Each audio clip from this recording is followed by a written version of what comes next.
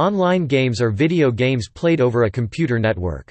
The evolution of these games parallels the evolution of computers and computer networking, with new technologies improving the essential functionality needed for playing video games on a remote server. Many video games have an online component, allowing players to play against or cooperatively with players across a network around the world.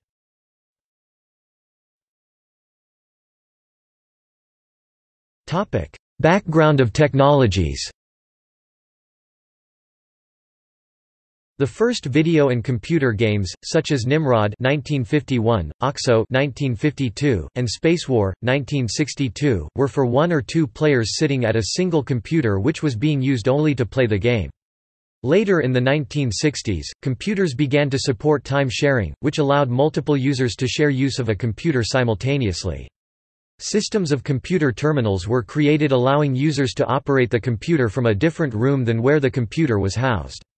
Soon after, modem links further expanded this range so that users did not have to be in the same building as the computer. Terminals could connect to their host computers via dial-up or leased telephone lines. With the increased remote access, host-based games were created, in which users on remote systems connected to a central computer to play single-player, and soon after, multiplayer games. Later, in the 1970s, packet-based computer networking technology began to mature. Between 1973 and 1975, Xerox PARC developed local area networks based on Ethernet. Additionally, the Wide Area Network ARPANET further developed from its 1969 roots, lead to the creation of the Internet on January 1, 1983.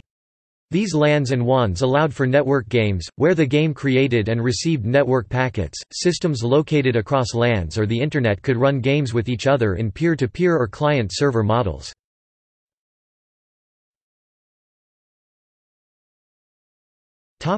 Plato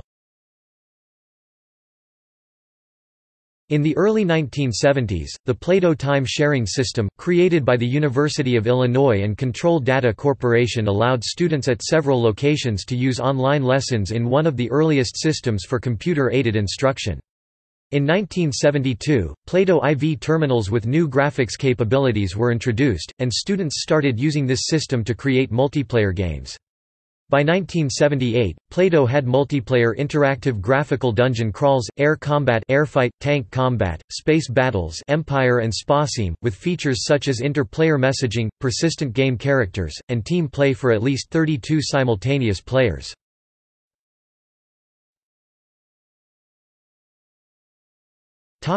Networked host-based systems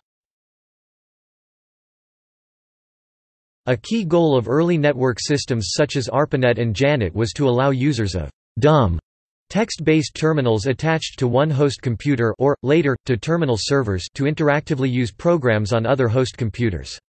This meant that games on those systems were accessible to users in many different locations by use of programs such as Telnet.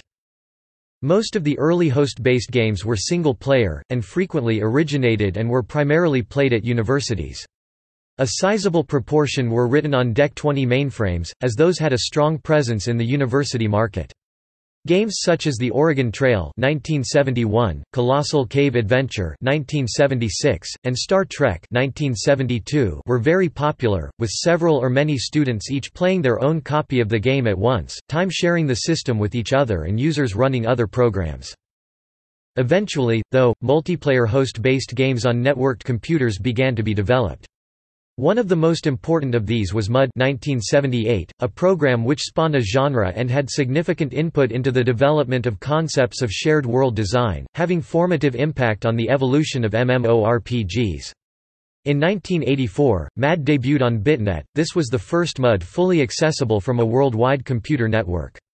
During its two-year existence, 10% of the sites on BitNet connected to it. In 1988, another BitNet MUD named MUDA appeared. It lasted for five years, before going offline due to the retirement of the computers it ran on. In the summer of 1973, Maze War was first written at NASA's Ames Research Center in California by high school summer interns using Imlac PDS-1 computers. The authors added two-player capability by connecting two IMLAC computers with serial cables. Since two computers were involved, as opposed to dumb terminals, They could use formatted protocol packets to send information to each other, so this could be considered the first peer-to-peer -peer computer video game. It could also be called the first first-person shooter. In 1983, Gary Tarolli wrote a flight simulator demonstration program for Silicon Graphics workstation computers. In 1984, networking capabilities were added by connecting two machines using serial cables just as had been done with the IMLACs for MazeWar at NASA 11 years earlier. Next, XNS support was added, allowing multiple stations to play over an Ethernet, just as with the Xerox version of MazeWar. In 1986, UDP support was added port 5130, making SGI Dogfight the first game to ever use the Internet Protocol suite. The packets used, though, were broadcast packets, which meant that the game was limited to a single network segment, it could not cross a router, and thus could not be played across the Internet. Around 1989, IP multicast capability was added, and the game became playable between any compatible hosts on the Internet, assuming that they had multicast access which was quite uncommon. The multicast address is 224.0.1.2, making this only the third multicast application and the first game to receive an address assignment, with only the VMTP protocol 224.0.1.0 and the Network Time Protocol 224.0.1.1 having arrived earlier.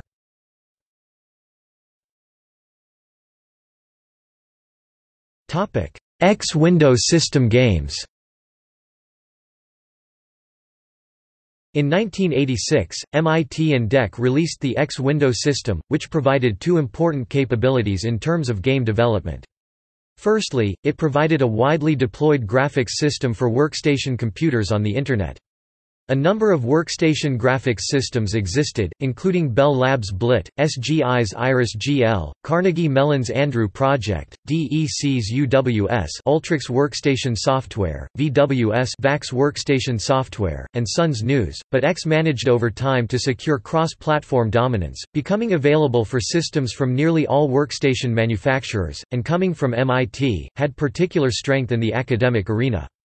Since Internet games were being written mostly by college students, this was critical. Secondly, X had the capability of using computers as thin clients, allowing a personal workstation to use a program which was actually being run on a much more powerful server computer exactly as if the user were sitting at the server computer. While remote control programs such as VNC allow similar capabilities, X incorporates it at the operating system level, allowing for much more tightly integrated functionality than these later solutions provide. Multiple applications running on different servers can display individual windows. For example, a word processor running on one server could have two or three windows open while a mail reader running on the workstation itself, and a game running on yet another server could each display their own windows, and all applications would be using native graphics calls.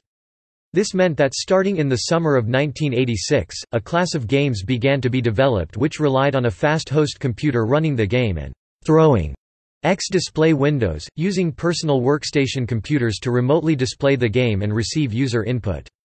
Since X can use multiple networking systems, games based on remote X displays are not Internet-only games, they can be played over DECnet and other non-TCP, IP network stacks. The first of these remote display games was XTREK. Based on a Plato system game, Empire, XTREK is a 2D multiplayer space battle game loosely set in the Star Trek universe. This game could be played across the Internet, probably the first graphical game that could do so, a few months ahead of the X version of Maze War. Importantly, however, the game itself was not aware that it was using a network. In a sense it was a host-based game, because the program only ran on a single computer, and knew about the X window system, and the window system took care of the networking, essentially one computer displaying on several screens. The X version of Maze War, on the other hand, was peer-to-peer -peer and used the network directly, with a copy of the program running on each computer in the game, instead of only a single copy running on a server. Netrek originally called XTREK2 was a fully network-aware client-server rewrite of XTREK. Other remote X display-based games include X-Tank and X-Pilot 1991. By 1989 Simson Garfinkel reported that on MIT's Project Athena Games like X-Tank and X-Trek let students at different workstations command tanks and starships, fire missiles at each other as fast as they can hit the buttons on their mice, and watch the results on their graphics displays. Observers estimated that up to one-third of Athena usage was for games. Topic commercial timesharing services As time-sharing technology matured, it became practical for companies with excess capacity on their expensive computer systems to sell that capacity. Service bureaus such as Tymshare founded 1966 dedicated to selling time on a single computer to multiple customers sprang up. The customers were typically businesses that did not have the need or money to purchase and manage their own computer systems. In 1979, two time-sharing companies, The Source and CompuServe, began selling access to their systems to individual consumers and small business. This was the beginning of the era of online service providers. While an initial focus of service offerings was the ability for users to run their own programs, over time applications including online chat, electronic mail and BBSs and games became the dominant uses of the systems. For many people, these, rather than the academic and commercial systems available only at universities and technical corporations, were their first exposure to online gaming. In 1984, CompuServe debuted Islands of Kesmai, the first commercial multiplayer online role playing game. Islands of Kesmai used scrolling text ASCII graphics on screen to draw maps of player location, depict movement, and so on. The interface is considered roguelike. At some point, graphical overlay interfaces could be downloaded, putting a slightly more glitzy face on the game. Playing cost was the standard CompuServe connection fee of the time, $6 per hour with a 300 baud modem, $12 for a 1200 baud modem. The game processed one command every 10 seconds, which equates to 1 2 thirds cents per command.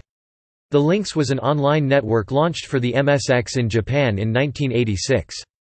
It featured several graphical multiplayer online games, including T&E Soft's Daiva Dr. Amandora and Super Laydock, Telenet Japan's Girly Block, and Bothtec's Dires.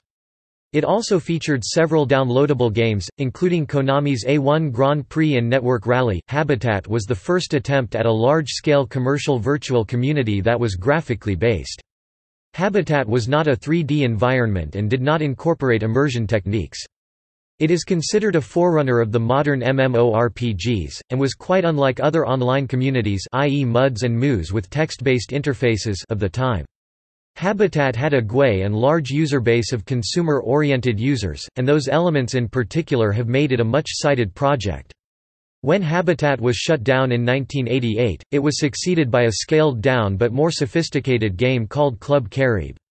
In 1987, Nintendo president Hiroshi Yamauchi partnered with Nomura Securities on the development of the Family Computer Network System for the Famicom (NES) in Japan. Led by Masayuki Uemura, Nintendo Research and Development II developed the modem hardware, and Nomura Securities developed the client and server software and the information database. Five network-enabled games were developed for the system, including a graphical, competitive online multiplayer version of Yamauchi's favorite classic, Go. In 1987, Kesmai the company which developed Islands of Kesmai released Air Warrior on Genie. It was a graphical flight simulator, air combat game, initially using wireframe graphics, and could run on Apple Macintosh, Atari ST, or Commodore Amiga computers. Over time, Air Warrior was added to other online services, including Delphi, Chris, CompuServe, America Online, Earthlink, GameStorm and CompuLink. Over time, Kesmai produced many improved versions of the game. In 1997, a backport from Windows to the Macintosh was made available as an open beta on the Internet. In 1999, Kesmai was purchased by Electronic Arts, which started running the game servers itself. The last Air Warrior servers were shut down on December 7, 2001. In 1988, Federation debuted on CompuNet. It was a text-based online game, focused around the interstellar economy of our galaxy in the distant future. Players work their way up a series of ranks, each of which has a slightly more rewarding and interesting but difficult job attached, which culminates in the ownership of one's own duchy, a small solar system. After some time on Genie, in 1995 Federation moved to AOL. AOL made online games free, dropping surcharges to play, in 1996, and the resulting load caused it to drop online game offerings entirely. IBgames, creators of Federation, started offering access to the game through its own website, making it perhaps the first game to transition off of an online service provider. IBgames kept the game operational until 2005, after most of the player base transitioned to the sequel, 2003's Federation 2. In 1990, Sega launched the online multiplayer gaming service Sega MegaNet for the Mega Drive Genesis video game console. Sega continued to provide online gaming services for its later consoles, including the Sega Netlink service for the Sega Saturn and the SegaNet service for the Dreamcast. In 1995, Nintendo released the Satellaview, a satellite modem for the Super Famicom in Japan only after partnering up with Saint Giga, that gave the console online multiplayer gaming. In 1999, Nintendo released an add-on for the Nintendo 64 called the 64DD in Japan only, which offered Internet through a now-defunct dedicated online service for e-commerce, online gaming, and media sharing. The late 1990s saw an explosion of MMORPGs, including Nexus, The Kingdom of the Winds 1996, Ultima Online 1997, Lineage 1998, and EverQuest 1999. In 2000, Sony introduced online multiplayer to the PlayStation 2. It was the first time of Sony doing so, and like many major consoles to come, will become a norm in the industry. In 2001, Nintendo introduced online multiplayer to the Nintendo GameCube using an add-on called a broadband adapter and modem adapter. It, however, came dead last in competing with the likes of the upcoming Xbox and the now icon of modern gaming, the PlayStation 2, both in sales and online impact. Later on, in 2002, Microsoft released the Xbox, which by using Xbox Live, offered online multiplayer and other Internet capabilities to the console and continued doing so for its later consoles, the Xbox 360 and the Xbox One. In 2006, Nintendo released the Wii, which offered online multiplayer gaming and other Internet capabilities over Nintendo Wi-Fi connection and WiiConnect 24, respectively. Both services were shut down on May 20, 2014, along with online capabilities of any games that utilize the feature, such as Mario Kart Wii 2008. The same year the Wii hit store shelves, rival Sony introduced its new monster to add to its line of industry icons, the PlayStation 3 which used the brand new PlayStation Network PSN for online multiplayer gaming and other Internet capabilities to the system, and continued doing so for later consoles such as the PlayStation 4.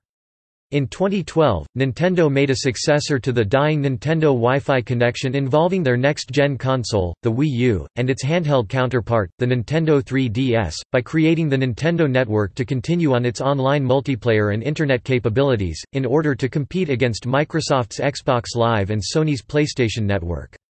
Nintendo's latest console, the Nintendo Switch, does offer online play via Nintendo Network.